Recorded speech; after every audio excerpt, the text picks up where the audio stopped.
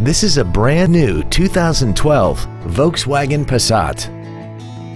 This car has a six-speed automatic transmission and a 2.5-liter inline five-cylinder engine.